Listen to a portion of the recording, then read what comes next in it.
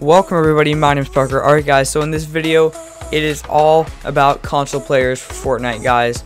Fortnite surprised us with a huge thing that's very helpful for console players if you are one.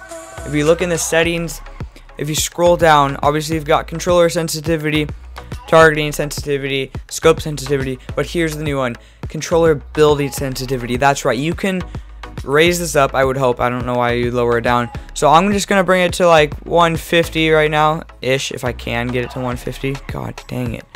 Okay, there we go.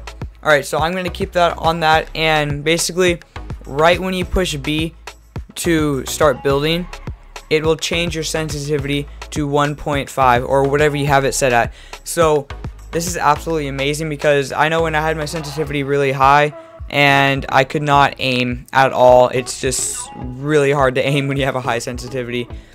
So I'm super happy that Fortnite did this and I cannot wait to actually try it. Hopefully I will be better at building now that my sensitivity is higher. But that obviously that is just for the building of course. And guys, the second thing that Fortnite surprised us with is a new page. That's right, it's called the Events tab. And there is now Fortnite tournaments available to everyone playing Fortnite Battle Royale. So there's tournaments there's a ton of them. Like, look at this. So, next one's in 21 hours from now as, as I uploaded this video. And basically, you have to get kills and you have to try and place good and you get points. And basically, um, you want to try and get 20 points. And I'm not sure what you get for that, but it's good stuff. So, in two days, which is on Friday, every Friday, there's a Friday night Fortnite. It's a squads tournament. So, I think this is awesome. I'm definitely going to do this because I know I'm always playing Fortnite with my friends on Friday.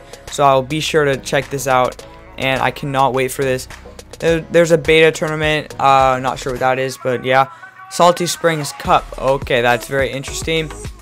Obviously something to do with Salty Springs. And then Tomato Temple Cup. Obviously in Tomato Temple. Cannot wait for these. And I'm definitely going to try them. So guys, be sure to check these out.